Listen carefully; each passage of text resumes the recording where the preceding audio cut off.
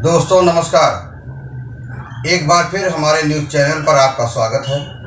स्वतंत्रता के बाद उत्तर प्रदेश के व्यापारी पहली बार अपने आप को सुरक्षित महसूस कर रहे हैं। उत्तर प्रदेश की सरकार में व्यापारियों में डर और दहशत खत्म हुआ है।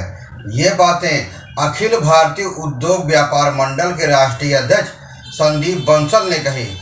राष्ट्रीय अध्यक्ष संदीप बंसल हयातगंज मोहल्ले में स्थित कृष्ण कुमार सोनी के नए प्रतिष्ठान, सेठ ज्वेलर्स का उद्घाटन करने आए थे। उद्घाटन अवसर पर श्री बंसल ने कहा कि हम लोग पिछले 24 वर्ष से यह प्रयास कर रहे थे कि हमारे देश में शिक्षक दिवस मनाया जाता है, बाल दिवस मनाया जाता है, मजदूर दिवस मनाया जाता है, परंतु व्यापारी दिवस नहीं मनाया जाता है। लेकिन सबसे ज़्यादा राजस्व टैक्स देने वाला जीएसटी देने वाला व्यापारी ही है, परंतु उसके नाम पर कोई भी ऐसा दिवस नहीं है। तमाम सरकारें आई और गईं, परंतु व्यापारी दिवस घोषित नहीं हुआ, लेकिन दो उनतीस जून को भामाशाह की जयंती पर व्यापारी कल्याण दिवस योगी सरकार ने घोषित किया, जो हम सब व्यापारियों के लिए गर्व की बात है। हमारी यह भी मांग थी कि उत्तर प्रदेश के हर ज़िले का जिलाधिकारी व्यापारियों का सम्मान करे। जिला प्रशासन किसी भी व्यापारी के साथ गलत व्यवहार न करे। यह मांग भी पूरी हो गई। और क्या कहें? संदीप बंसल ने और क्या कहा?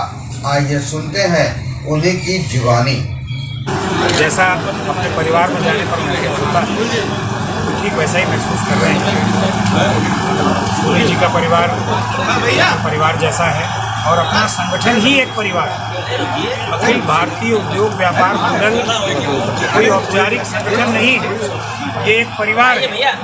और हम हर व्यापारी अपने परिवार का सदस्य मानते और यही उद्देश्य लेकर के काम कर रहे हैं कि देश भर के सभी व्यापारी जो कम पूंजी लगाकर व्यापार कर रहे हों या करोड़ों और अरबों रुपए में व्यापार कर रहे हों, उन सबको संगठित करें।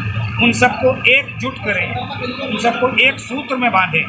यही संकल्प अखिल भारतीय उद्योग व्यापार मंडल का है और एक परिवार की तरीके से नगर पालिका परिषद टांडा द्वारा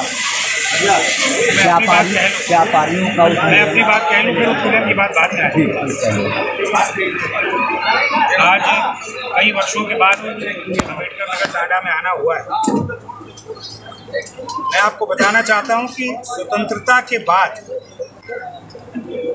उत्तर प्रदेश का व्यापारी पहली बार स्वयं को स्वतंत्र महसूस कर रहा है। शायद उसकी जानकारी हमारे प्रेस के बंधुओं को उतनी जानकारी ठीक से ना हो। हम लोग पिछले 24 वर्ष से लगातार ये प्रयास कर रहे थे कि हमारे देश में शिक्षक दिवस है, बाल दिवस है, मजदूर दिवस है, और तरह तरह के दिवस हैं। लेकिन सबसे ज़्यादा राजस्व और सबसे ज़्यादा रोज़गार देने वाला वर्ग, ये जो व्यापारी वर्ग है, इसके नाम पर ना देश में कोई दिवस है, ना प्रदेश में कोई दिवस है। चौबीस बरस हो गए थे, तमाम सरकारें आई और गई। मायावती जी की सरकार आई, मुलायम सिंह की सरकार आई, उसके बाद अखिलेश जी की सरकार रही। खूब कोशिश करते रहे। यहाँ तक कि योगी जी के जो पहले कार्यकाल में भी हमने प्रयास किया लेकिन मैं एक बार फिर आप सबके माध्यम से, अंबेडकर नगर टांडा के माध्यम से और इस पूरे हमारे उत्तर प्रदेश के व्यापारी के माध्यम से उत्तर प्रदेश के यशस्वी मुख्यमंत्री योगी आदित्यनाथ जी का आभार व्यक्त करना चाहता हूँ। वित्त मंत्री सुरेश खन्ना जी का आभार व्यक्त करना चाहता हूँ, जिन्होंने उन्नीस सौ सैंतालीस के बाद पहली बार व्यापारी को स्वतंत्र होने का अवसर दिया और उत्तर प्रदेश में 29 जून भामाशाह जी की जयंती पर व्यापारी कल्याण दिवस घोषित किया। इसके लिए मैं एक बार फिर उनको बहुत बहुत बधाई और बहुत बहुत शुक्रिया। ये आप यूँ मान के चलिए कि हमारी मांग यही थी कि हर जनपद में जिलाधिकारी व्यापारी को सम्मानित करने का काम करे, कार्यक्रम आयोजित करके व्यापारी भूषण और इस उनतीस जून को जो 2024 की निकली है, मैं समझता हूँ उत्तर प्रदेश के सभी जनपदों में व्यापारी कल्याण दिवस और आने वाले 2025 में और भव्यता के साथ उसको आयोजित किया जाएगा। यानी कि जिला प्रशासन किसी भी स्तर पर अब व्यापारी के साथ सौतेला बर्ताव नहीं कर पाएगा। ये संदेश उत्तर प्रदेश के माननीय मुख्यमंत्री जी ने व्यापारी की सुरक्षा को लेकर के बहुत बड़ा कदम। संदीप बंसल यही नहीं रुके। उन्होंने कहा कि हमारी अगली मांग है कि जिस तरह लोगों को पेंशन योजना का लाभ दिया जाता है उसी तरह व्यापारियों को भी पेंशन दी जाए। योगी सरकार में व्यापारी पूरी तरह भयमुक्त हैं, सुरक्षित हैं। उन्होंने मुख्यमंत्री योगी आदित्यनाथ और वित्त मंत्री सुरेश खन्ना का आभार प्रकट किया है।